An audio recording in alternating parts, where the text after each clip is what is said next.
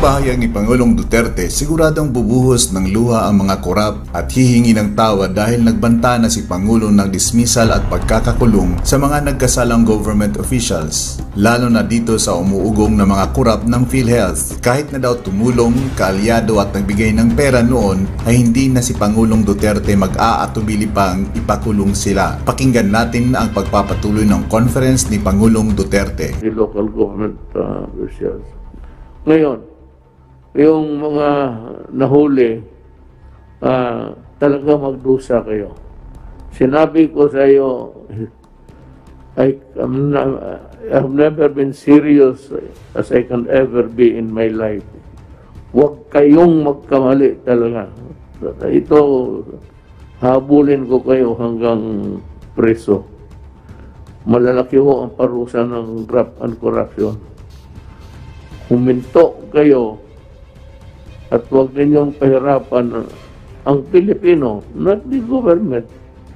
Ika- Kayo yung nagkano nag wa- walang service, mahirap dito kasi hindi sila makapagtrabaho, walang tower, marami kayong hiningi. And any, any, any, permit for that matter. Mga ah, sa local conversion, you know, a delay of 200 days is totally unacceptable to me. I've been a prosecutor sa Tanod Bayan noon, wala pa yung ombudsman. At ah, yan ang gusto ko talaga. I, I, I- my training at, at least involved uh, a lot of uh, prosecution of criminal cases in court sa corruption. So, yan ang ano ko ngayon. Maligaya ako sa trabaho ni Secretary Anyo. Talagang ipahabol ko kayo. Tsaka, walang pakiusapan no mercy ako. Either supporter kita, tumulong ka sa election, sinabi ko sa inyo, ang pinakatulong na magawa mo sa akin is huwag mong pahirapan ang gobyerno to act. And these are the projects of government. Although hindi ang ang privado na kumpanya na gumagawa the actual building of tower it is still a project of government. They are commissioned and paid by government exactly to do what they are supposed to do. To building the towers, to having a subdivision, getting a conversion sa council. Karamihan yan, city and municipal council. Do not give me that na abutin kayo. Kundi, demanda ko kayong lahat. Pero, to schedule sa by the time it reaches your table, the vice mayor should table it the, following the, the, the, the following hearing, city council hearing. And after that, what is your objection? Wala naman kayong objection dyan. Cancer wala ka na. Ako nga sabi ko, malapit ako. Tanungin mo yung dito, taga rito.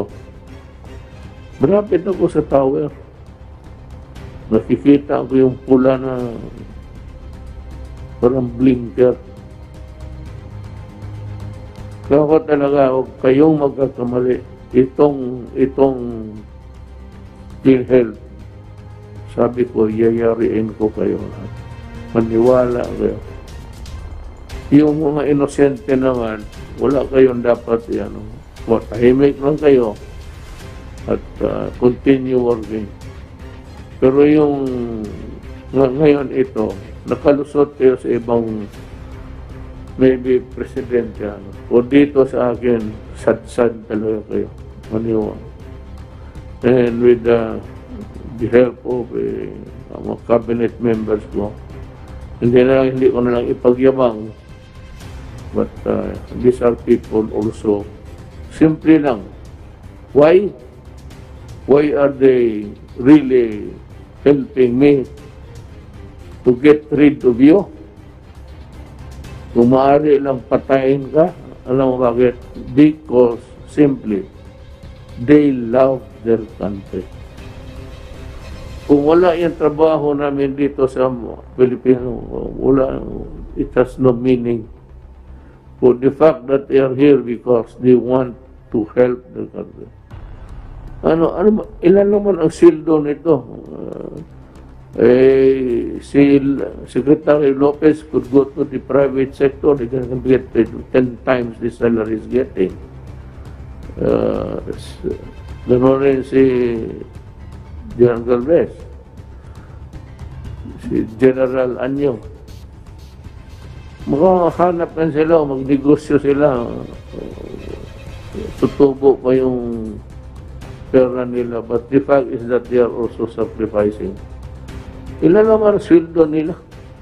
Papasoktan kayo ng bilyon-milyon kami dito. Pinakababa ako, Presidente. You know, how totoo. How much?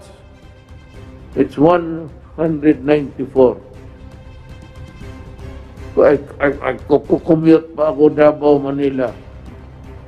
Dalawang asawa. So, totoo man yan. So, eh, alam man ninyo, noong nagkampanya ako, I was very honest with you. I said I have two wives. So when you have two wives, you have two families. Eh, paano? Hindi, wala. Talagang yung isa naman so may anak ako puro noon. Eh, kasalanan ko ba yan? Sabi ko nung kampanya I told you everything.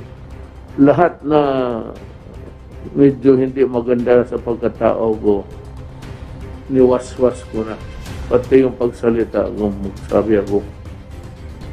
Nilabas ko na lahat para malaman ninyo kung sino yung pinili ninyo So with that explanation, I would say, uh, hindi ako maghihi ng tawad. Sabihin ko lang, thank you for your understanding. Yung importante yung, kaya huwag niyo kalimutan yung ilan na yung nakulong. Pagkulong ko talaga itong ito.